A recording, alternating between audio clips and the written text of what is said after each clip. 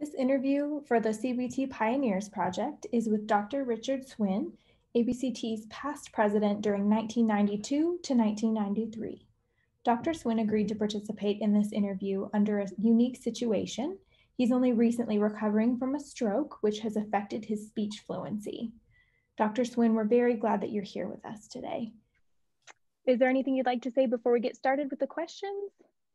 No, uh, I apologize if I, I'm not as fluent as I would normally be, but we'll get through this the best we can and hopefully we'll have a good interview. Yes. Yes. Thank you for being here with us today. Okay, so Dr. Suinn, let's start. Um, I'd really love to know who are the most important influences on your career? Well, first of all, the one that stands out the most is Brendan Maher, M A H E R. He had been chair of the Department of Psychology at Harvard and became president of Division 12, Division of Clinical.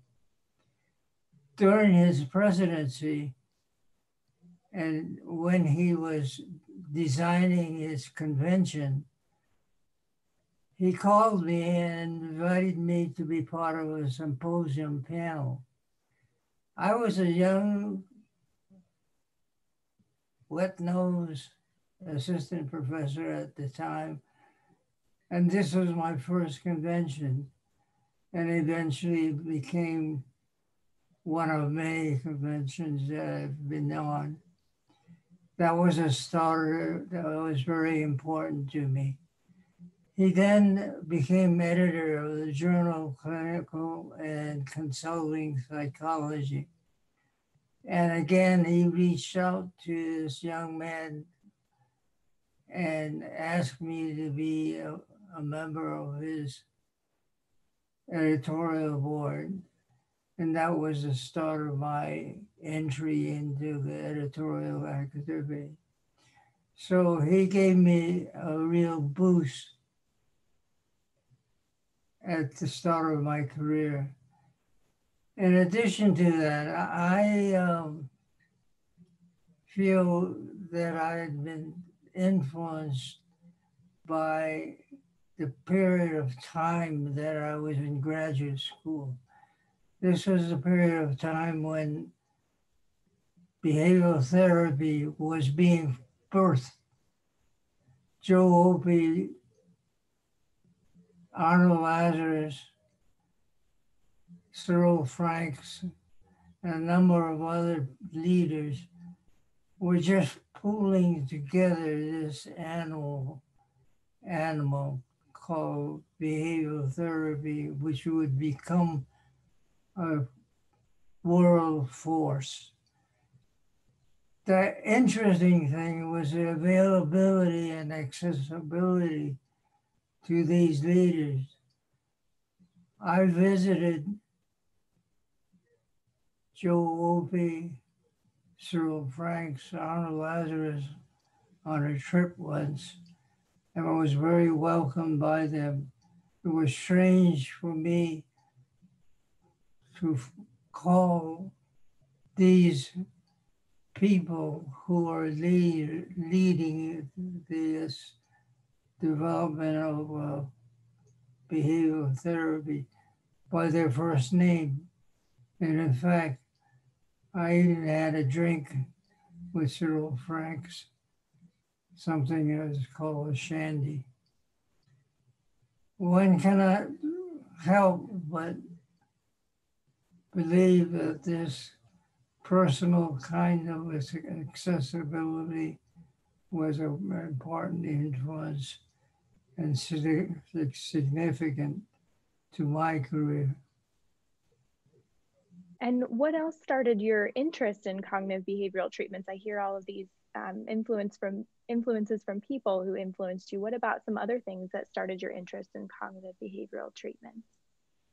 a sports psychology incident was important to my becoming interested in behavioral therapy.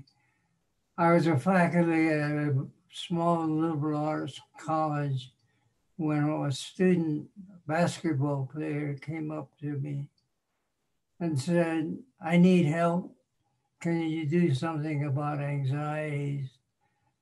I am a good basketball player, but I have a problem at, when it comes to driving the ball towards the basket. Then I freak out. I get so anxious that I no longer can perform very well. Can you help me get rid of this anxiety?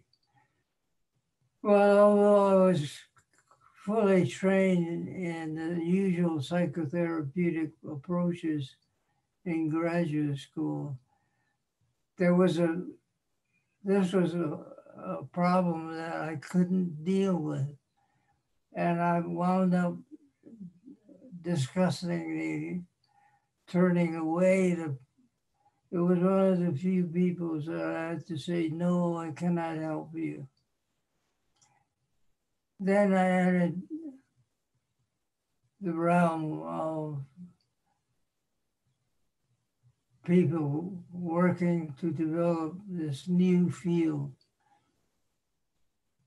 Joe Wolpe was writing his book on reciprocal inhibition.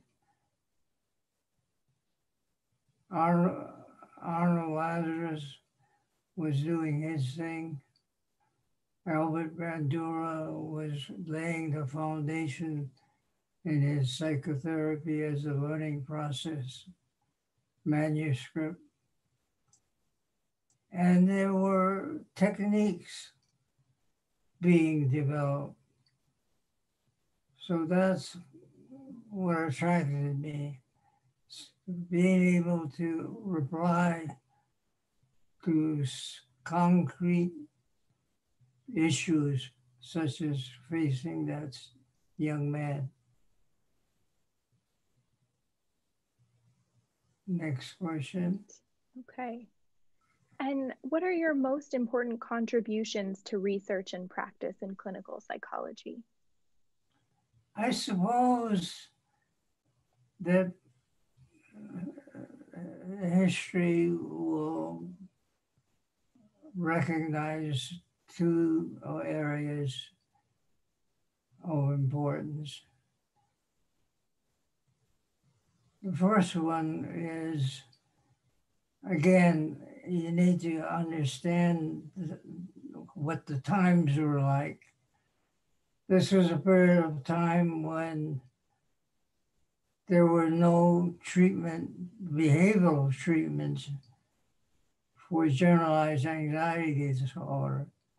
We had for the phobics disorders well in hand but when you face someone with generalized anxiety disorder, there were none at, at the time. So uh, putting together the relaxation methods and, and uh, basic imagery with some exposure, but with the, the fact that with exposure, you are running the risk of increasing the discomfort. So I was searching for a method using relaxation and imagery to control the anxiety at each level it became a useful tool. I named it Anxiety Management Training and eventually uh, published a book on how to use this method. Later on, it dawned on me that there are some commonalities in emotional regulation. And then saw the application of AMT, as I called it, to anger management. And therein we developed what was called, or at the time, anger management training. So there's that one development that I am willing to take credit for. The other is that eventually, through some clinical practice, Uh, I developed the idea that the imagery techniques we were using in behavioral therapy could be applied to fostering positive behaviors, healthy behaviors, and worked with a ski team to see if the use of relaxation plus imagery could improve their performance. We, we quickly found that this was indeed possible and a, and a number of research articles came out mainly from physical educators rather than psychologists. I named this methodology visual motor behavioral rehearsal as a descriptive term and today you can find in historical books on phys ed a reference to VMBR if they adopted the technique in their study. So I have crossed over and become known as not only a clinical psychologist, but also a sports psychologist. I was, in fact, the first psychologist to be named as a sport official sports psychology for an Olympic training Olympic team. And I served as a sports psychologist for five Olympic teams in the past. So there you are. Fascinating. Um, how can we do a better job of disseminating CBT to clinicians? Well, I would do something drastic as an experiment sometime. That is, it seems to me that reading journal articles about CBT can be uh, a drudgery because there is this long format. I think that the appeal of reading a journal is the findings. So instead of having to plow through the history, introduction, methodology, uh, then you get to the results. Why not try and put a results section in front of the introduction and methodology? You can always look in to the later part of the article for those information. Maybe uh, this will make the dissemination more attractive, or at least a chore of reading a journal article. less difficult.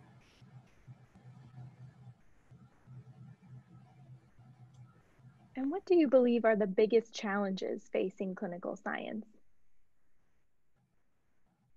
Well, the when you go these days to a workshop or a convention or a conference, it's amazing how many new findings there are in terms of interventions. I think that we have made great strides in developing te- techniques, but their number of psychotherapeutic or cognitive behavioral therapy types of interventions is been going out of the hand. A new one develops almost overnight. And then there's a brief series to support the efficacy. And then it's dropped into the clinical realm for practice. I think the prolific number of ideas is a great boost to keeping your association active and viable. But I uh, honestly believe that it's gotten out of hand. Maybe we need a moratorium to stop and look and at what we have now and study factors regarding our current interventions to see more fundamentals. But that's just my opinion. Next question. What changes would you want to see in graduate training and uh, teaching in psychology? Oh, I'm. I have some radical ideas about that too. Let's start with high school. More and more so, you find students eligible to take advanced placement courses. These effectively are meant to be beyond the usual high school level. And in fact, are often offered as substitutes for the same type of course, same content course, where the student gets to college. If that is the case, if an advanced placement course replaces or or can can meet the credit requirement at the college level, then that says that the college and the AP course are equivalent. So why not make that in fact the case and take out the intro courses that are offered in the undergraduate schools and replace those courses with more advanced or practical media.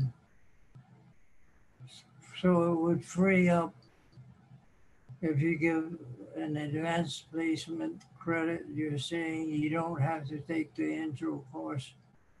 And we don't need that intro level course. We can replace that intro course by something else.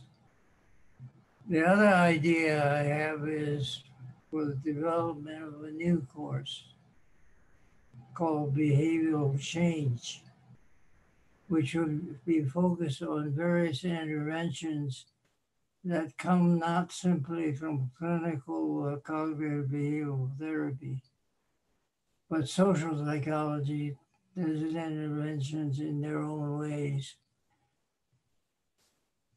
Uh, environmental social people have their own ideas about how to foster change. And I IO, industrial organizational majors, learn another sequence. And even if we look at addiction counseling, they have their own ideas about what is necessary for change.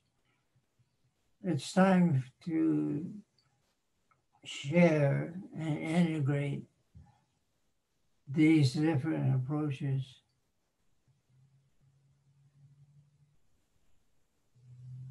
Next question. Okay. What areas or issues do you feel CBT needs to address more in the future? Well, my old war cry that initiated in doing my presidential year is still an issue. Diversity, diversity, diversity. There, A, B, A, A, B, A, B, C, T. That's a tongue twister. Is now beginning again to focus on diversity in my presidential year, we reached out and found a pool of people who had not been affiliated with CBT and who were interested. They still exist, they're still reachable, and they're still available. greater activity needs to be adopted to deal with this deficit. Okay, this is my last one for you.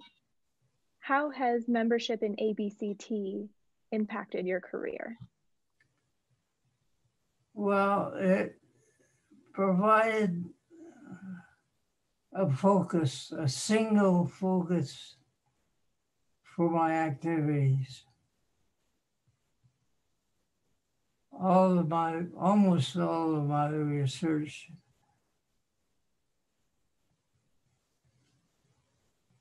was in the field of cognitive behavioral therapy.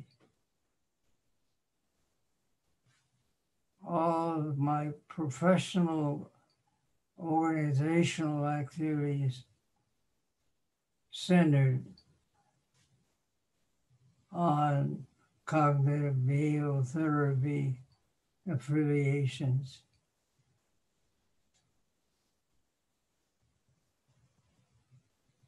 I think it was remarkable that we, my interest and focus and life was connected with this behavioral therapy phenomenon. I will also say, since we're talking about the end of a career,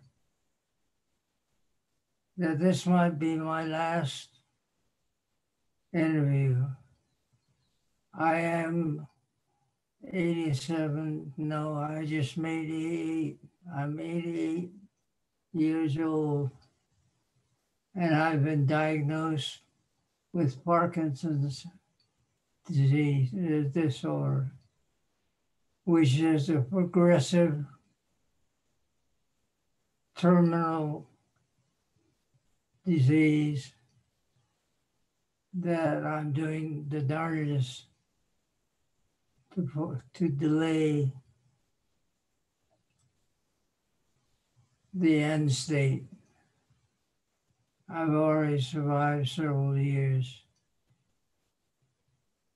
And so this may be, in fact, my goodbye interview.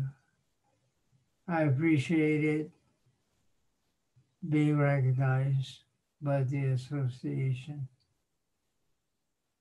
But I will not yet say goodbye. Only see you later. That's the end. Dr. Suinn, thank you so much for being here today. We're so thankful and honored that you took the time to have this interview with us.